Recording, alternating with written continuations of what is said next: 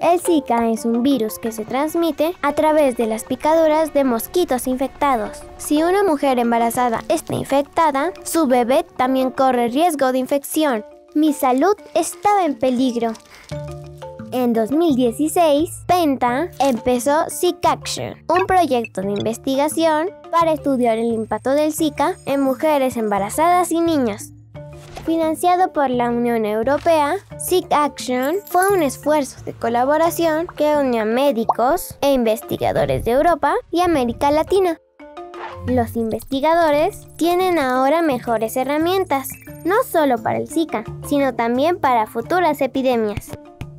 Estamos más cerca de encontrar nuevos tratamientos y vacunas.